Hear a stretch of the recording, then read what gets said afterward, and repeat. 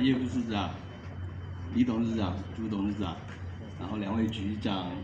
赵老师、副校长赵牧师，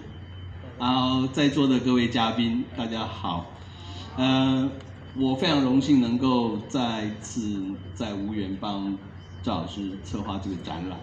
那呃，在跟赵老师商量之前呢，我有一个我自己做了很多的功课哦，就是了解赵老师的创作历程，乃至于他的这个学术，一直到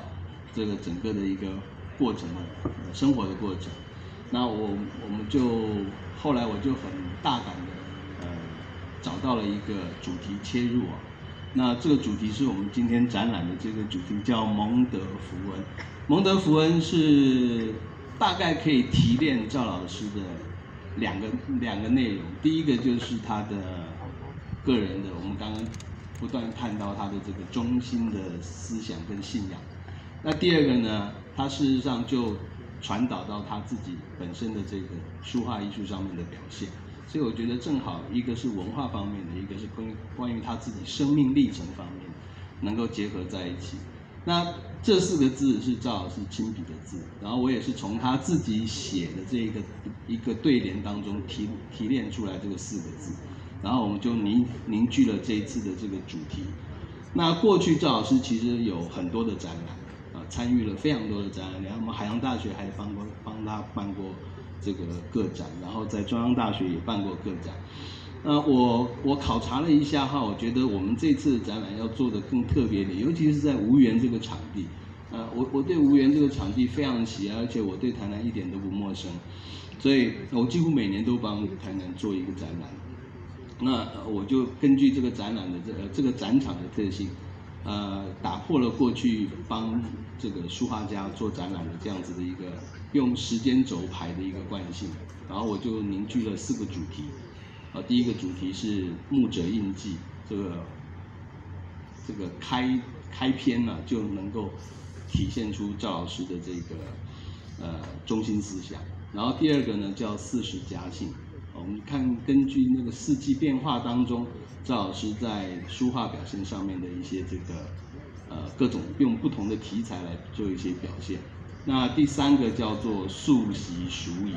素习熟宜这个单元其实就很特别，因为赵老师刚开始学画的时候就是画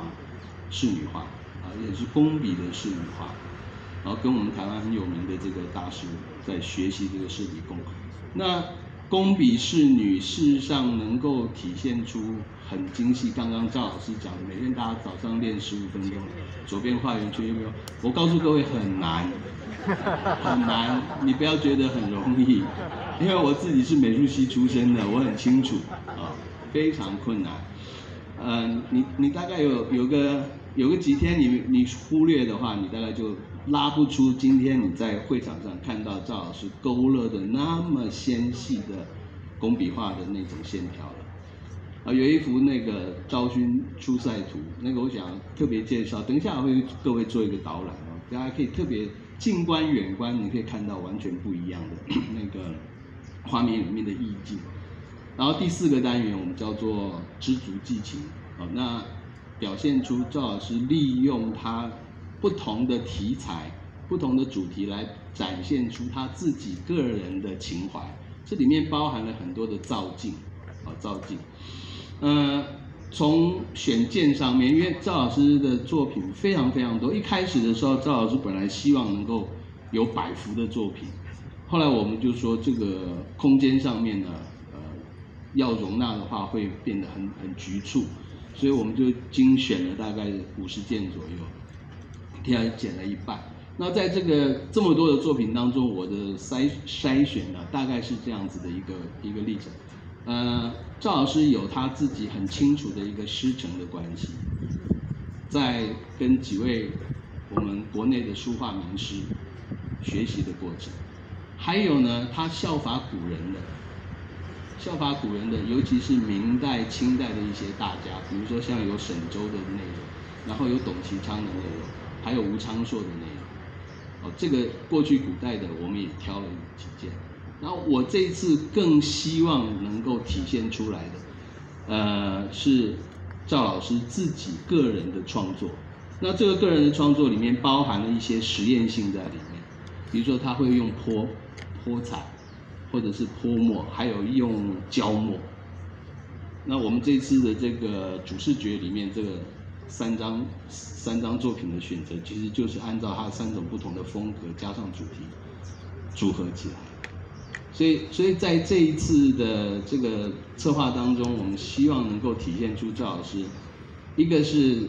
刚刚我们所特别讲到他自己个人创作的精神方面。那第二个呢，既然是艺术，书画艺术，所以我们要把书法跟绘画两类的。内容也能希望能够呈现给各位观众。那么这个绘画方面的话，我们可以看到刚刚有题材不同的题材，有山水、花鸟、人物、动物，啊不同的题材。然后书法呢，我们可以看到它有楷书、有隶书、有篆书，然后还有行书。所以大概这些呢，我们可以比较全面的感受到，然后又有能够比较聚焦的一个方式，呃为。台南的朋友们来带这样子的一个书画上面的想念，啊，这是我简单在策划的这个过程当中为各位做的一个介绍。那这个时间轴里面其实也包含了大概赵老师很早期的仕女的作品，一直到最近的最近几年的作品都有，所以这个时间也拉得很长。那我们希望能够观众们能够在这个里面的体会啊。是从它的不同的主题当中去看到，刚刚，呃，我们牧师还有我们那个呃副市长是这个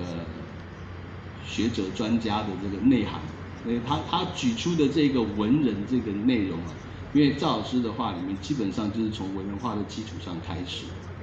啊，所以这个我们副市长把这个提炼的非常的精准啊。非常的精准。那呃，最后呢，我借着这个机会，祝在呃在新的一年里面，敬祝各位在座的嘉宾，呃身体健康，万事平安。谢谢大家。好，我们。